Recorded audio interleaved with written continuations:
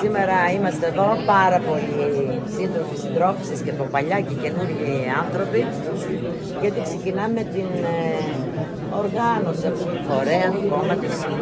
Ξεκινήσαμε με την κοινοβουλευτική ομάδα της Νέας Αριστεράς. Τα πράγματα είναι πολύ αισιόδοξα. Υπάρχει ο πολιτικός χώρος και η διάθεση του κόσμου, η ανάγκη θα έλεγα, να δημιουργηθεί αυτός ο φορέας της ανανεωτικής, σύγχρονης, φεμινιστικής, ε, οικολογικής αριστεράς Πιστεύω ότι θα πάει πάρα πολύ καλά.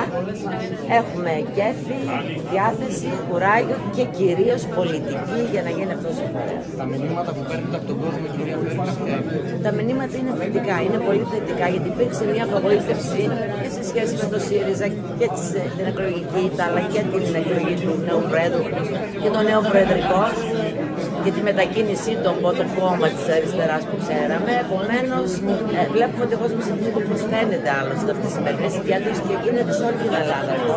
Έχω συνελεύσει και πιστεύω ότι παντού θα πάει πάρα πολύ καλά. Από τι δημοσκοπήσεις είστε ικανοποιημένοι; Κοιτάξτε, η δημοσκόπηση αφορούσε μία περίοδο που μόλις είχε σχηματιστεί μια κοινοβουλευτική ομάδα 11 βουλευτών. Το ότι ανοιχνεύτηκε και μόνος στο 2,5% θεωρώ ότι είναι θετικό. Έχει ενδιαφέρον να δούμε και ένα ποιοτικό στοιχείο ε, που έλεγε ότι το 29% θα μπορούσε να ψηφίσει, να σκεφτεί να ψηφίσει Νέα Αριστερά. Φανταστείτε ότι ο κόμμα δεν έχουν βγει στον κόσμο με το πρόγραμμα, με εκδηλώσεις σαν αυτή που γίνεται σήμερα. Επομένως είμαστε πολύ αισιόδοξοι.